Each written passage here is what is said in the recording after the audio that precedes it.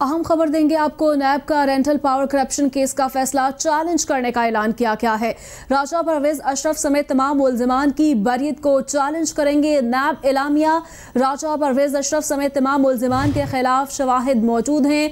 मुलजमान की बरीत का हुक्म करदम करार दिया जाए। नैब की जानब से ये इलामिया अपनाया गया है। पीरा गायब रेफरेंस में एहतसाब अदालत के फैसले के खिलाफ अपील दायर करेंगे। अदालत ने रेंटल पावर केस में मुलजमान की बरीत दरखास्तें मंजूर करके बरी कर दिया था। आपको आगाह किया जा रहा है, नैप की जानब से इलामिया जो है वो बताया गया है। नैप का रेंटल पावर करप्शन केस का फैसला चैलेंज करने का ऐलान किया गया है।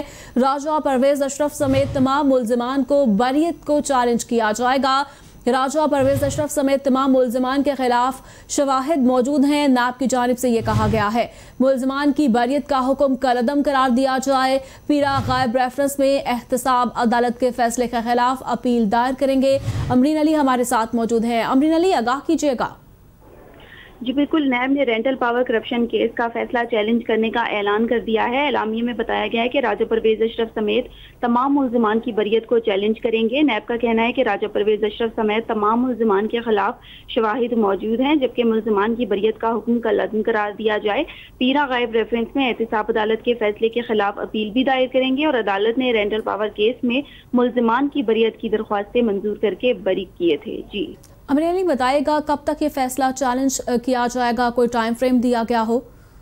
जी बिल्कुल नैब की जानब से आज एलामिया जारी किया गया है और जल्द अज जल्द उनकी जानब से अदालत में इसको चैलेंज किया जाएगा। आज तो अदालती वक्त चूँकि ख़त्म हो चुका है तो कल या दो दो, दो रोज़ के अंदर अंदर नैब की जानब से ये जो दरख्वास्त है ये अदालत के रूबरू पेश कर दी जाएगी और उनकी जानब से ये भी कहा गया है कि वो जितने भी हकायक हैं वो अदालत के रूबरू पेश करेंगे। जी। अमरेली ये बताइएगा नैब की जानब से तो ये फैसला चैलेंज किया जाएगा। और जबकि इस हवाले से ये बताना कि राजा परवेज अशरफ की जानब से कोई मौके सामने आ सका हो बिल्कुल, इस हवाले से ताहाल तो उनकी जाने से मौके सामने नहीं आया, लेकिन उससे कबल जब वो स्टार्ट में अदालतों में पेश होते थे तो उन्होंने यही मौके अपनाया था कि मेरे खिलाफ जो भी शवाहिद पेश किए गए हैं, इनसे कुछ हासिल नहीं होगा, ये सारे बेबुनियाद हैं।